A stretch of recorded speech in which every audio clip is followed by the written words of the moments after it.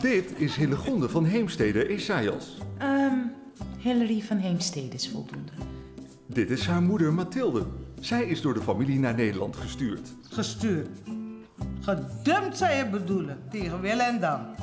Dit is Hillary's beste vriendin Orsine Kastelen, getrouwd van de lucht. Nou ja, getrouwd. Haar man heeft haar in de steek gelaten voor een jongere vrouw. Vrouw, dat kind is 20 hoor. En dit is Glenda. Welkom bij Sopo. Dat ding is soppo. Orsine, je bent mijn beste vriendin. Ik moet iets met je bespreken. Het gaat niet goed met mijn moeder. Ze wordt steeds slechter ter been en ze hoort nauwelijks wat. En ze vergeet steeds vaker dingen. Je moeder. Die is nog een krasse vrouw hoor. Ik bedoel, ze is niet zo kras als ik. Ze is een krasse vrouw.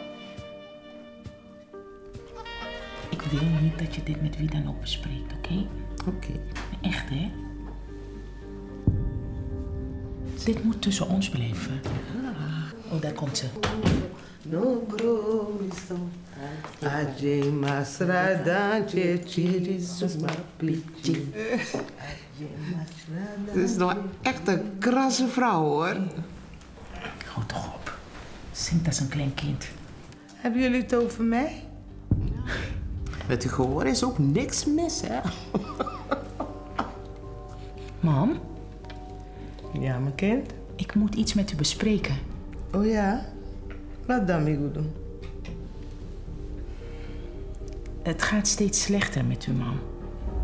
Sinds u in Nederland bent komen wonen, gaat u steeds meer achteruit. Het gaat stapje voor stapje, maar wel gestaag. En het gaat hard. Te hard. Echt? Zo hard? Zo hard dat je het huis uit wil?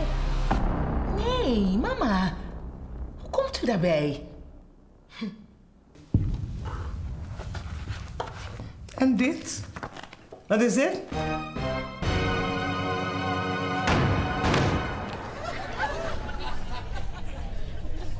Ik bemoei niet.